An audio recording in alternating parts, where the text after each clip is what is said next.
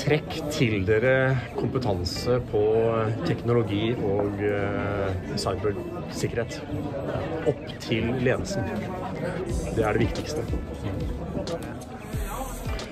Trusselbildet er eh, eh, relativt kan du si, massivt, med tanke på at det er veldig mange aktører der ute. Både statlige og si, alle mulige aktører fra eh, organisasjoner som eh, leier ut kompetansen sin eh, for å angripe og, og skade virksomheter og tjene penger.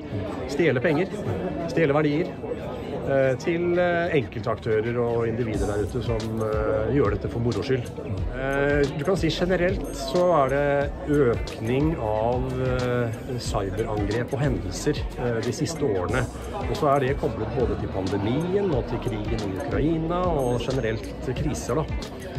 Eh, Så, så det er jo kan du si, modus operandi for, for disse aktørene som er ute og prøver å uh, angripe oss. Uh, de tiltrekkes av kriser, av uh, uoversiktlighet, av kaos.